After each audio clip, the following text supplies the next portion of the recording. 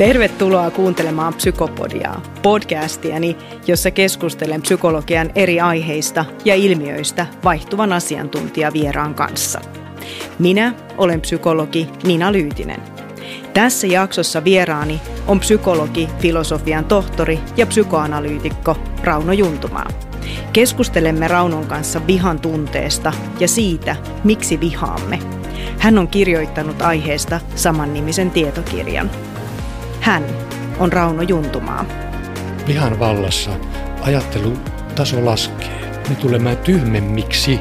Siinä laskee ajattelutaso ja myöskin oma moraali. Ja silloin on helpompi myös antautua jollekin pahalle, eli tekemään pahaa, koska se on jo heikentänyt harkintakykyä. Ja siinä vihan tunteessa silloin voi käydä niin, että myötätunnon kyky puuttuu ja välinpitämättömyys valtaa, ja silloinhan me voidaan tehdä pahaa toiselle. Tässä jaksossa kuulet muun muassa, mitä viha on, mitä hyötyä ja haittaa vihan tunteesta voi olla, mikä aiheuttaa ihmisessä vihan kokemuksia, miten vihaa ilmaistaan ja miten viha näyttäytyy ryhmässä. Rauno kertoo myös, miten vihan tunteesta voi päästä irti.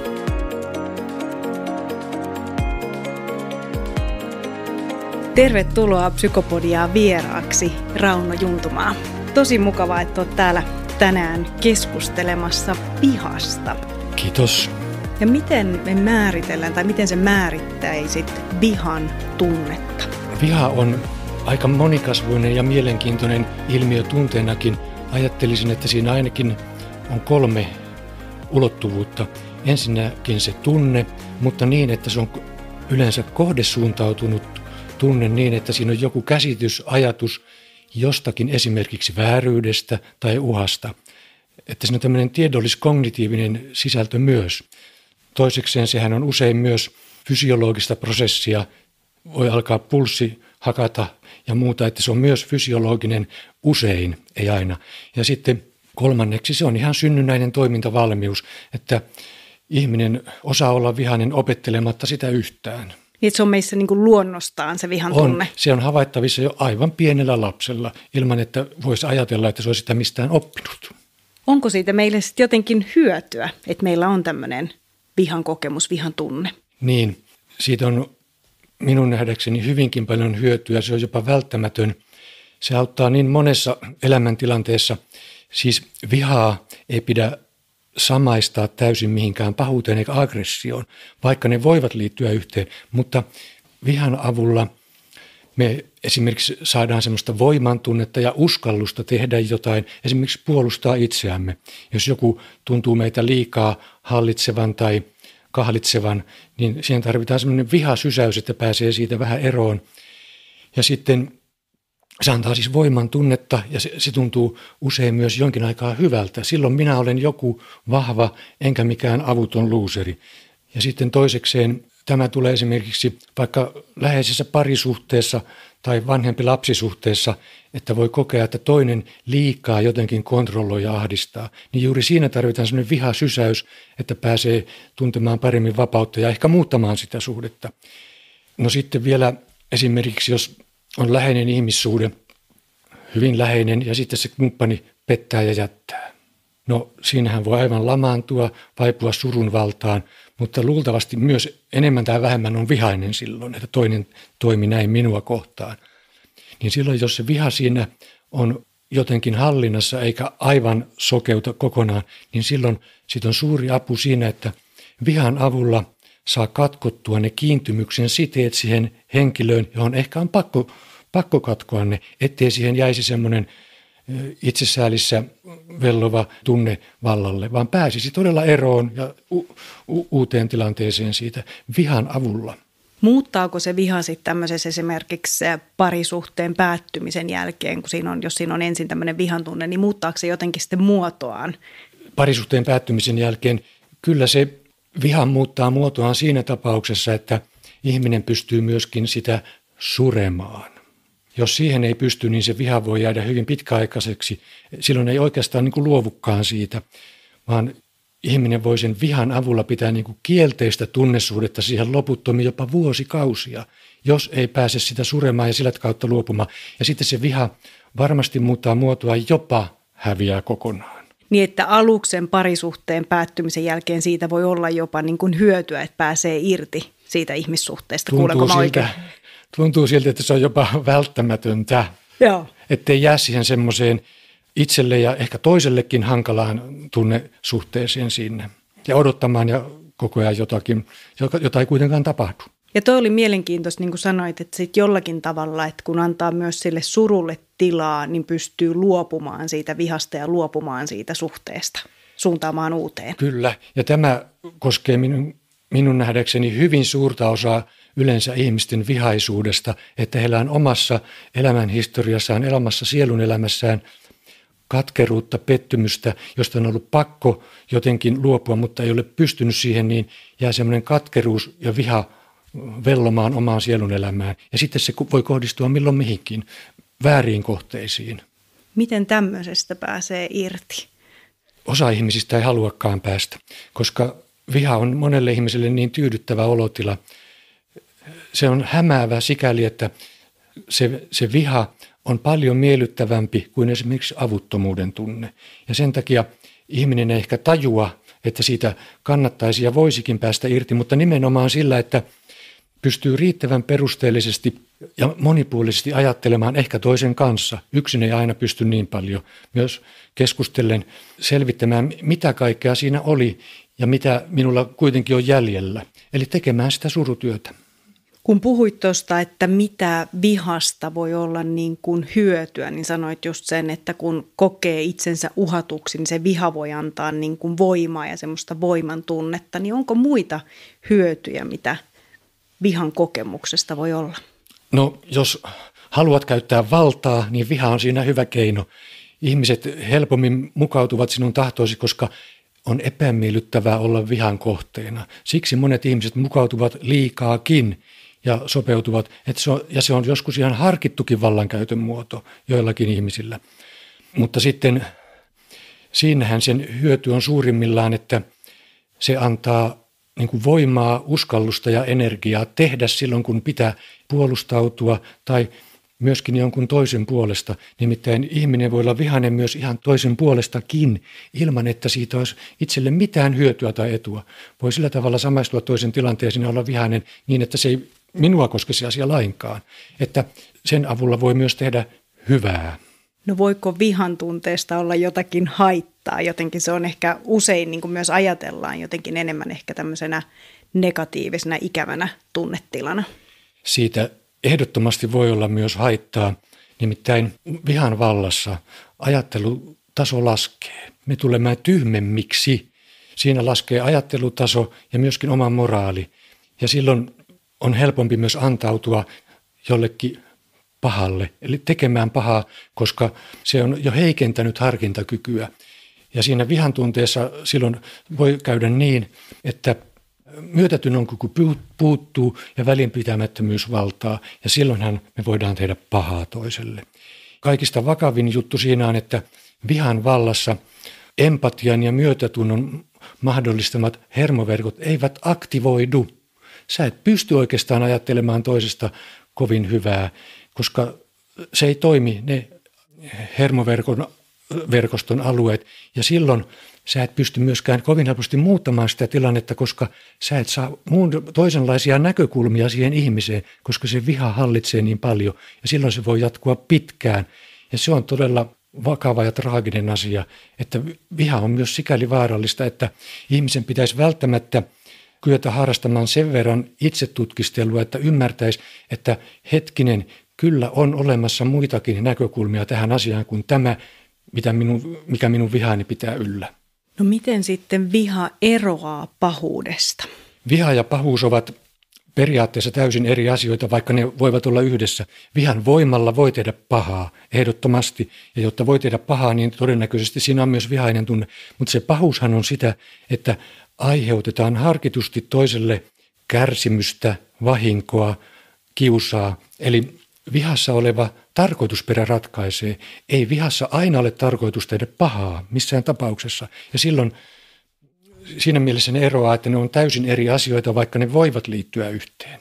Niin eli pahuus on sitä, että haluaa jollekin niin kuin oikeasti jotakin pahaa, jotakin ikävää. Pahuuden käsite on olemassa ja se minun mielestäni täytyy olla. Ja näin se voidaan määritellä. Harkittua tietoista pahan aiheuttamista toisille Ja puhuitkin jonkun verran siitä, että mikä aiheuttaa ihmisessä niitä vihan kokemuksia, niin avaisitko vielä vähäsen sitä puolta, että minkälaiset asiat? Ehkä kaikkein yleismaailmallisin ja selvin asia, mikä ihmisessä herättää vihaa, on epäoikeudenmukaisuuden ja vääryyden kokemus. Se on kaikissa kulttuureissa. Ja se on varmasti hyvin ymmärrettävää. Mutta toki moni muukin asia aiheuttaa sitä tai saa meissä aikaan ja sen vuoksi sitä vihaa onkin niin paljon joka puolella, koska niin monet asiat saavat sitä aikaan. Tietysti ratkaisee hyvin paljon se, miten me, minä itse tai me itse tulkitsemme jonkun asian. Se voi olla myös aivan harhainen. Ei ehkä olekaan mitään syytä pelätä tai kukaan ei uhkaakaan minua, vaikka minusta siltä tuntuu, mutta voi olla myös totta. Voidaan uhata. Uhka herättää vihaa, pelko, myöskin suru, turhautumat. Ja miksi? Pääasiassa siksi, että nämä on epämiellyttäviä tunteita ja niistä helposti lumpsahdetaan vihaan, koska se on paljon miellyttävämpi olotila. Että halutaan eroon siitä epämiellyttävästä tilanteesta. Ja sitten stressitila on sama. Silloinhan me helposti ärrytään ja ärjäistään ja jollekin, jos ollaan stressitilanteessa. Mutta sitten nämä on oikeastaan semmoisia ihmisen sisällä olevia asioita, sisäisiä. Sitten tämmöiset ulkoisemmat tekijät on juuri tämä todellinen epäoikeudenmukaisuus, jota varmasti moni kohtaa siellä sun täällä. Ja sitten tämä, että jos tuntee olevansa kontrollin alainen, toinen yrittää hallita ja määräillä minua. Eli tämmöinen oman erillisyyden, itsenäisyyden puolustamisen tarve. Siihen tarvitaan ehkä sitä vihaa ja sitä just herättää se tilanne, jossa se on uhattuna. Minun identiteettiäni en saa olla sellainen kuin haluan olla. Sitä voi tehdä puoliso, sitä voi tehdä pomo, työtoverikin. Ja silloin siihen tulee semmoinen viha, vihan tunteita joko reaktioina lyhytaikaisesti tai sitten pitkäaikaisena muuntua ihan vihasuhteiksi, jos tuntuu jatkuvasti, että se toinen vaan kahlitsee minua. Ja pieni lapsikin usein sitä vihan voimalla lähtee liikkeelle ja sanoo minä itse, älä, mä, älä määrää mua. Mm. No miten sitten ryhmässä saako viha jotenkin enemmän voimaa, jos on useampi ihminen, joka esimerkiksi kokee epäoikeudenmukaisuutta tai uhkaa tai sitä, että me tai minä itse. Tätä pitäisinkin äärettömän tärkeänä asiana. Ryhmässähän ei välttämättä viha voimistu. Kulttuuriantropologiset tutkimukset voidaan havaita, että on paljon ryhmiä, jossa ongelmatilanne, uhka, pelko, viha poistuu tanssimalla ja laulamalla yhdessä. Mm. Siinä se poistuu se viha, mutta on paljon porukoita, ryhmiä, pieniä ja suuria, joissa on alkuperäisesti joku ajatus, että joku saattaa meitä uhata tai aiheuttaa meille vahinkoa, että sillä ryhmällä, aatteella, poliittisella, uskonnollisella tai muulla on semmoinen perusideologia tai oppi, että meillä on tämmöinen uhka ja nämä ovat meille haitallisia. Siinä on semmoinen, ja ne ovat joko aiheuttaneet meille jotain pahaa tai tulevat aiheuttamaan. Siinä on tämmöinen uhriutumistarina, että meitä uhataan. Ja silloin, kun tämmöisen porukan vaikutuspiiriin menee, niin meidän mielikuvia on erittäin helppo manipuloida useimpien, ei onneksi ihan kaikkien. Täytyy muistaa, että esimerkiksi Natsi-Saksastakin suuri joukko ihmisiä ei tullut manipuloiduksi, sieltä myös erittäin paljon paettiin pois. Mutta ylivoimainen enemmistö meistä on hyvin altis tämmöiseen. Ja sitten kun me ollaan siinä ryhmän vaikutuksen alaisena, se on yhtä vaarallista kuin olla kännissä. Ajattelukyky sumenee, hämärtyy, moraali, ei ikään kuin oma henkilökohtainen persona murenee ja luopuu pois, että me toimitaan sen mukaan, mitä me ajatellaan, että siinä ryhmässä halutaan. Minä jopa oletan, että ihmisen kaikkein vahvin tarve on halu kuulua joukkoon, pysyä siinä, että ei tule syrjäytetyksi ja pois heitetyksi. Se menee jopa joskus itse, itsesäilytyksen ohi ja kaikkien muiden tarpeiden. Ihminen voi pysytellä hyvin pahassakin ryhmässä maksu mitä maksu, vaikka menisi henki. Sitähän on nähty paljon. Se on ihan todellisuutta ollut Suomessakin. sata vuotta sitten. Siinä halutaan siis kuulua siihen, saada hyvä asema ja olla pomon suosikki. Ja silloin tehdään mitä pahaa tahansa. Mutta ihminen ei silti välttämättä ole oikeasti paha. Nimittäin se on menettänyt siinä oman persoonallisuutensa. Mä nimittäisin sitä epänormalisaatiotilaksi, mihin ihminen voi ryhmässä joutua. Että sitten kun se ryhmä esimerkiksi lakkaa tai loppuu, tilanne loppuu, ihminen voi muuttua tavalle, ta- takaisin kunnialliseksi kansalaiseksi eikä tee mitään pahaa kellekään, eikä ole tehnyt ennen tätä. Tästä on paljon tutkimuksia julkaistu, että tämä pätee todella ihmiseen enemmistöön meistä, ei aivan kaikkiin. Mitä se vaatii, että tuommoisesta jotenkin pääsee irti, tuommoisen niin ryhmävihan voimasta tai vallasta? Erittäin suuren kriisin, erittäin suuren kriisin, että ilmeisesti useimmat eivät siitä pääse, että se voi loppua sillä, että se ryhmä syystä tai toisesta hajoaa. Tilanne yhteiskunnassa tai olosuhteet muuttuvat niin paljon, että se ryhmä hajoaa kerta kaikkiaan. Ja semmoista sitten tapahtuu. Mutta siitä ihan niin kuin tosi uskovainen ei luovu uskostaan, eikä alkoholisti pullostaa. Että ei siitä niin vaan lähdetä irti. Mm. Monille käy huonosti. Mutta sanoitkin tuossa, että se viha myös niin kuin tyhmentää jollakin tavalla ihmistä. Näinhän se on. Sehän on, sehän on huomattavasti tyhmentynyt silloin, kun se toimii tässä ryhmässä tämmöisessä porukassa, koska sen oma itsenäinen ajattelu ei toimi. Siitä on tullut, voi sanoa kärjistetysti robotin kaltaan, se toimii täysin sen ryhmän kaavojen mukaan. Itsenäinen ajattelu loppuu ja vastuu loppuu. Sen niin kuin oma persoona katoaa, että se ei ota vastuutakaan mistään. Se ryhmä ottaa sen vastuu. Kaikki vastuu annetaan ryhmälle. Ja tässä kun aikaisemmin puhuttiin siitä pahuudesta, niin voiko tämmöisessä tulla jotenkin se riski, että se pahuus tulee siihen mukaan? Se kaikkein pahin pahuus tulee siinä.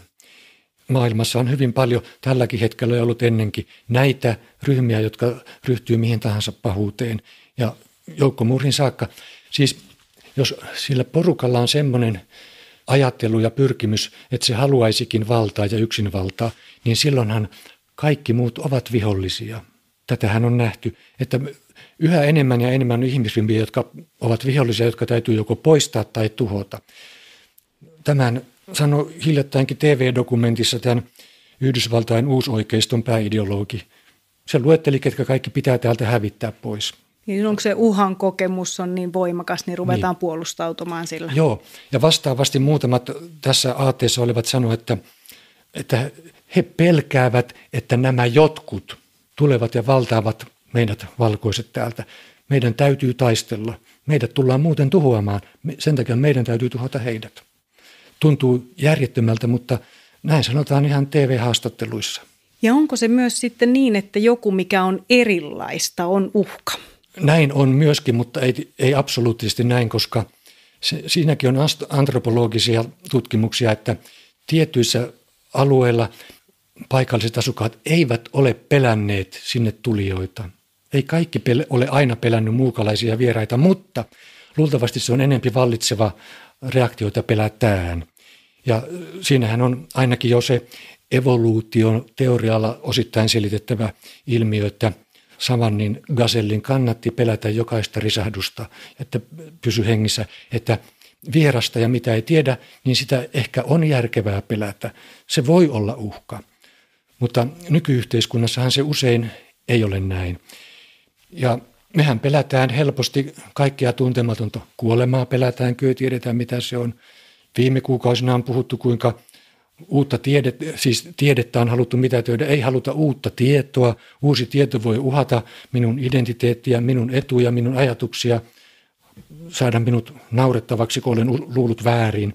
Mutta vieras ihminen Sehän voi olla kilpailija, se voi tulla haluamaan samoja asioita kuin minä. Se voi tulla tänne kilpailemaan minun kanssa ihan kaikista asioista. Ja silloinhan minä ehkä suhtaudun tähän vihamielisesti. Sekin on kokeellisesti voitu havaita, että kun porukka jaetaan kahtia ja ne pannaan kilpailemaan, ne alkaa suhtautua vihamielisesti toisiin, kun ne haluaa samoja asioita. Sehän on sukua kateudelle ja usein sitä onkin. Silloin kun minä olen vihainen jollekin, ja suuttunut, niin kyllä minun kannattaakin ensimmäisenä ajatella, että taidan, olenko ehkä kateellinen. Mm. Se on hyvin usein vihan, tuottaa semmoista vihakäyttäytymistä, ilkeyttä, piikittelyä, tämmöistä vihan ilmaisua. Mutta muukalainen voi olla aina kilpailija minulle ja sitten, koska en tunne sitä, niin sehän on täysin vapaa minun mielikuvitukselle. Voin kuvitella ihan mitä tahansa ja se, mitä kuvittelen, tulee minun omasta sielun elämästä. Mitä kaikkea kaltoinkohtelua minulla on ollut. Se on melkein, se muukalainen on puolittainen peili minun omalle sielun elämälle. Tuo oli mielenkiintoista, kun sanoit, että jos koen vihan tunnetta jotakin kohtaa, niin kannattaa myös reflektoida sitä, että olenko kateellinen tälle toiselle ihmiselle tai ryhmälle. Kyllä, varmasti on, koska hyvin usein niin on. Se, onkin, se on vihaisuuden päälähteitä.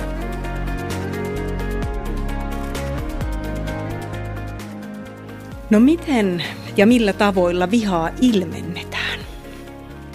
Siinä voi ehkä ottaa lähinnä semmoisen kaksijaon, että passiivisesti tai aktiivisesti.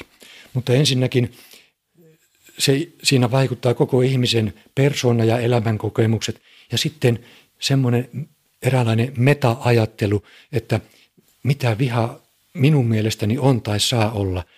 Jos minä olen vihainen, pidetäänkö minua typeränä, alku, alkukantaisena ihmisenä, paheksutaanko sitä, onko se oikeutettua, uskallanko olla vihainen. Se vaikuttaa siihen paljon. Siksi usein ollaan passiivisia, mökötetään, aiheutetaan selän takana, puhutaan pahaa.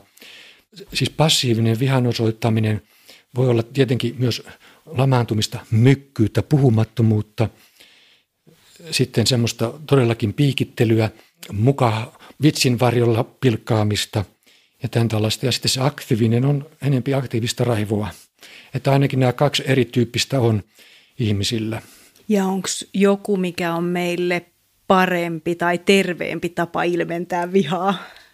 Paras tapa on, jos on sen verran mahdollisuus ja kykyä itse havainnointiin ja itse tutkisteluun, että vähän tajuaa – mikä siihen vaikuttaa, että minä reagoin näin rajusti tähän? Nimittäin joku toinen, jos minua loukataan, minä voin sitä suuttua hirveästi, mutta joku toinen, jos hänelle sanotaan samalla tavalla, ei, ei pitää mitään siitä.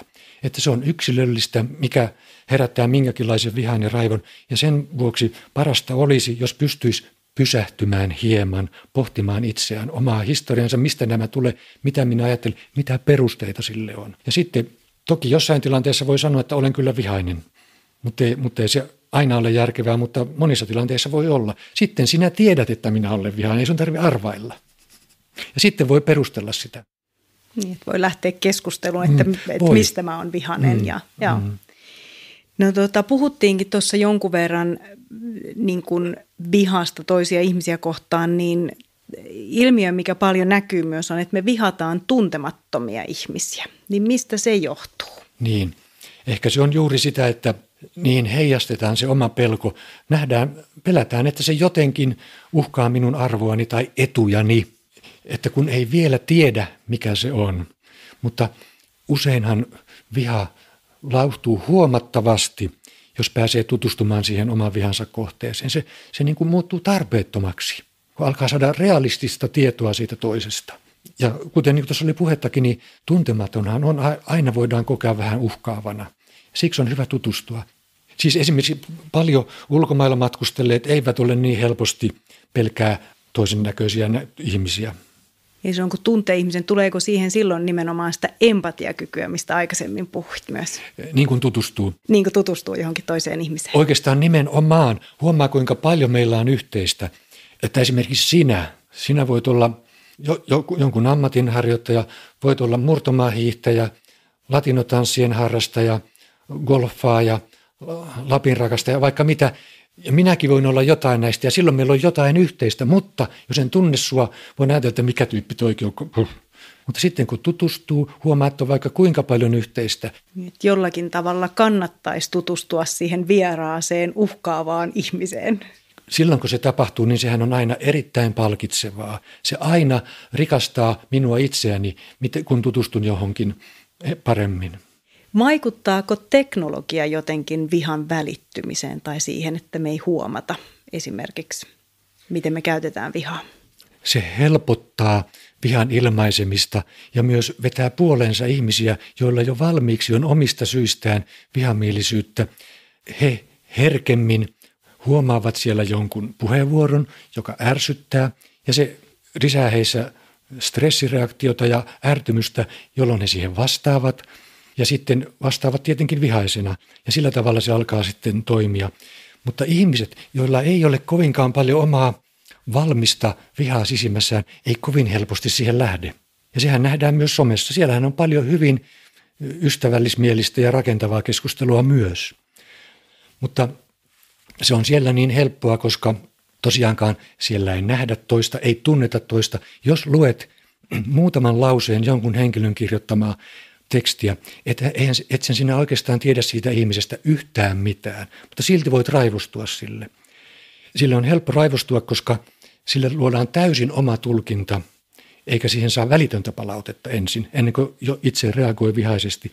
Ja sitten ehkä viittasitkin, niin siitähän puuttuu siitä kommunikaatiosta kokonaan se, mikä on kommunikaatiossa yleensä kaikkein tärkeintä, joka on jo vauvalla. Nimittäin ilmeet, eleet, äänensävyt. Niihin me luotetaan kommunikaatiossa. Kiiliopillinen sanasisältö on toissijaista. Jos ne on ristiriidassa, me uskotaan siihen ei-sanalliseen viestiin, eli siihen ilmeisiin, eleisiin tunnelmiin. Ja sen vuoksi on niin helppo tulkita ihan, ihan oman mielikuvituksen jyllätessä se, mitä joku on kirjoittanut. Jokainen sana voidaan tulkita monella tavalla. Kuulostaa myös siltä, että se viha voi lähteä tämmöisessä nettikeskustelussa aika nopeasti leviämään ja tarttumaan. Nimenomaan, mutta se lähtee vain niiden toimesta, joilla on itsellä jo valmiina jonkunlaista ärtymystä ja vihaisuutta ties mihin – Tuleeko tässäkin vähän se sama, että jos mä huomaan, että joku somekeskustelu herättää mussa raivoa tai vihaa, niin mun kannattaisi vähän lähteä, lähteä tutkimaan, että mitä minussa itsessäni tapahtuu ja mikä sitä vihaa oikeasti aiheuttaa. Se olisi erittäin fiksua ja hyvä, jos kaikki voisivat tehdä niin, että vähän aikaa sitä miettisivät. Ja jos kirjoittaakin jotain, niin se voisi sitten deletoida ja kirjoittaa vähän päästä uudestaan vähän maltillisemman. Eikä lähettää sitä ensimmäistä. Mutta niin kuin sanoit, niin tuossa niin puuttuu nimenomaan näissä somekeskusteluissa ne ilmeet, eleet, äänenpainot ja, ja sillä tavalla se vihan voima voi olla, tai niin kuin se tulkinta voi olla hyvin erilainen. Kyllä, ja myös se, mitä kasvatusten kohtaamisessa on, niin voi välittömästi tarkentaa ja muuta. Että siinä ei ehdi välttämättä raivo syntyä edes, koska välittömästi tarkennetaan asiaa. Mutta tuolla saa itsekseen oma mielikuvitus lähtee jylläämään ja sitten heti sen mukaan reagoida. Ja siitä tosiaan puuttuu tämä kaikkein olennaisin osa viestinnässä. Näetkö sä tällä olevan jotakin riskejä? No sikäli juuri, että saadaan tämmöisiä suuria vihareaktioita ja lau, vihalaumoja käynnistettyä ja mobilisoitua. Etenkin algoritmien aikakaudella jumidutaan niin paljon siihen omaan kuplaan, että siellä se vaan yltyy ja pahenee ja suurenee. Ja tarttuuko viha jotenkin? Kyllä ja ei. Nimittäin se kyllä voi tarttua, mutta se tarttuu ni, niihin ihmisiin helpoiten, joilla tosiaan on sitä jo jotenkin valmiiksi. Että se niin kuin ikään kuin kutsuu sen esiin, on semmoinen yllyke, ärsyke, joka saa sen roihahtamaan niin kuin tulitikku. Mutta se ei tartu automaattisesti aina ja kaikkiin. Mutta se saadaan helposti tarttumaan vähän samaan tapaan kuin esimerkiksi urheilukatsomossa kaikki alkaa huutamaan samaan aikaan. Mutta kyllä siihen saadaan se vihakin aikaiseksi samalla tavalla.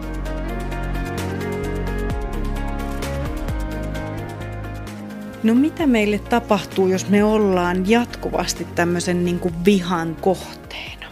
Se riippuu vähän siitä, missä tilanteessa ja minkä ikäinen ihminen esimerkiksi lapsi tai nuori tai vähän aikuisempikin, jos hänellä on jotain hyviä luotettavia henkilöitä lähellään, niin hän selviää siitä paljon paremmin ja voi jopa oppia kehittämään selviytymismenetelmiä. Siinä mielessä voi sitten olla niin kuin sitä hyötyäkin tulevaisuuteen, mutta varmasti aina näin ei ole. Se voi alkaa hyvin paljonkin omaa itsearvostusta murentamaan, kuten esimerkiksi tiedetään pitkähköissä huonoissa parisuhteissa puolison itsearvostus voi murentua ihan huonoksi, kun on jatkuvan huomauttelun ja vähättelyn kohteena. Ja sama on tietenkin lapsella. Ja sitten se voi olla myös niin, että kuitenkin samaistuu siihen vihamieliseen ihmiseen, ottaa siitä mallin ja alkaa, alkaa käyttäytyä itse samalla lailla omissa ihmissuhteissa, eli oppii tuhoisan mallin – ikään kuin vahinko lähtee kiertämään. Mutta sitten se voi myös johtaa masennukseen, lamantumiseen, myöskin Ja itsetuhoisuuteen saakka voi johtaa se. Mutta sitten kun on tämmöisen armoilla, siinähän tuntee voimattomuutta ja avuttomuutta, niin sitten siihen voi löytyä ja etsiä ja löytyä, löytää jotain ratkaisutapoja. Yksi niistä on addiktio. Mikä tahansa addiktio, nimittäin siinä addiktiivisessa toiminnassa hetkellisesti ihminen kokee kykyä toimia itse niin kuin hallintaa ja valtaa sen oman juttunsa kanssa, kun missään muualla sitä ei ole. Siinä voi olla paljon tämmöisiä tuhoisia vaikutuksia. Ja sitten läheisen ihmissuhteenhan se tosiaan vieraannuttaa, etäännyttää, turruttaa ja tekee huonoksi. Ja sitten kaiken lisäksi, jos se on jatkuvasti toistuvaa, niin alkaa kuvitella, että se on jotenkin oikeutettua, uusi normaali, mitä se ei missään nimessä ole eikä pidä olla. Miten tuommoisesta kierteestä voi päästä sitten pois, jos on vaikka lähisuhde, missä on väkivaltaa, aggressiota niin, ja siinä on jo itsetunto esimerkiksi murentunut, niin mitä ne keinot on irrottautua? Sehän valitettavasti aika paljon tiedetään, että moni ihminen ei sitä kovinkaan nopeasti pääse. Voi vuosia, jopa vuosikymmeniä joskus jatkua semmoinen, että ihminen todella kärsii hyvin vahvasti, mutta silti ei pääse sitä eroon. Mutta jos saa siihen apua ja tukea ja on rohkeutta, niin silloin sinne tarvittaisiin nopeahko arvio ja sen jälkeen johtopäätökset. Mutta siinä voisi niin kysyä itseltään, että jos on kyse ihmissuhteesta, että sietääkö tämä toinen ihminen sellaista asiaa kuin meidän tasavertaisuus. Mm. Nimittäin monelle se on jopa raivon aihe, ajatuskin siitä, että olisimme tasaveroisia. Toisen on pakko saada pitää se ylivalta. Silloin ei tiedä, onko siinä muuta keinoa kuin yrittää jotenkuten lähteä liikkeelle, mutta sikäli periaatteessa aina on, koska tämmöiset käyttäytymismallit ei ole geenien eikä jonkun luonteenlaadun tuottamia pakkopaitoja meissä. Ne ei ole tehnyt meistä robotteja, toisin sanoen me ei olla täysin niiden armoilla, vaan ne on opittuja. Mm. Ja sen vuoksi se, mikä on opittu, sitä aina voidaan myös oppia pois ja oppia uudenlaista tilalle. No miten sitten semmoinen henkilö, joka niin kuin mahdollisesti tunnistaa itsessään niin kuin semmoisia vihantunteita, ehkä vähän aggressiokin, mutta ei ole esimerkiksi käyttäytynyt vielä väkivaltaisesti, no niin onko tämmöiselle niin kuin ihmiselle jotakin apua esimerkiksi vihan hallintaan, sen taltuttamiseen? Varmasti tällöin, tämmöisessä tilanteessa on jo suhteellisen hyvä tilanne, kun ihminen jo jonkun verran näkee sen ongelmaksi – lähtökohta on juuri se, että henkilö itse kokee siinä jo ongelmaa, niin silloin, silloin on mahdollisuuksia. Niin silloin kun itse ei näe sitä ongelmaa, niin silloin siihen on vaikea puuttua, mutta jos itse havaitsee niitä ongelmia ja on valmis työskentelemään sen kanssa, on motivoitunut, niin Juuri niin, että siinä täytyy olla sitä omaa halua, omaa motivaatiota ja omia syitä, miksi haluaa muutosta, niin silloin, silloin sitä myös tapahtuu. Vielä ennen kuin lopetellaan, niin Kertoisitko tai kertaisitko vielä sen, että mitä on vihan haitat ja hyödyt? No ne haitathan ovat juuri sitä, että vihan vallassa ihmisen ajattelukyky ei toimi niin hyvin kuin se muuten voisi toimia. Ja se sumentaa myös mahdollis- hyvin äkkiä mahdollisuuden tuntea myötätuntoa ja välittämistä. Hyötyjä on juuri siinä, että se antaa, silloin kun se on jotenkin omassa hallinnassa, se, se voimantunnetta, rohkeutta toimia silloin, kun pitää toimia. Ja sehän toiminta ei tarvitse suinkaan missään tapauksessa olla mitään tuho, tuhoavaa, vaan rakentavaa. Mutta sitten on tärkeää, että se viha ei alkaisi tuntua liian miellyttävältä, kuten se voi hetkittäin tuntua, koska se antaa semmoista voiman ja vallan tunnetta, että pystyisi myös samalla ajattelemaan sitä oman vihansa perusteita ja huomaamaan, milloin sitä käyttää hyvin ja milloin huonosti. Kiitos Rauno mielenkiintoisesta ja tärkeästä keskustelusta. Kiitos samoin, oli kiva keskustella näistä. Kiitos, että kuuntelit tämän Psykopodia-jakson.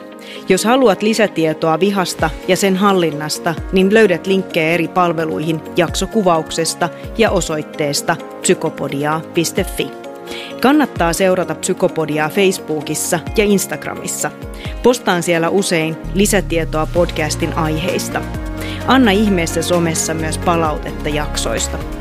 Jos pidit tästä jaksosta, olisin kiitollinen, jos jaat sen somessa myös kavereillesi. Älä unohda tilata Psykopodiaa, niin et missaa uusia jaksoja. Seuraava jakso ilmestyy kahden viikon päästä. Tämänkin jakson äänituotti, leikkasi ja kuvanotti Mikko Heiskala. Minä olen Nina Lyytinen. Kiitos, kun olit kuulolla.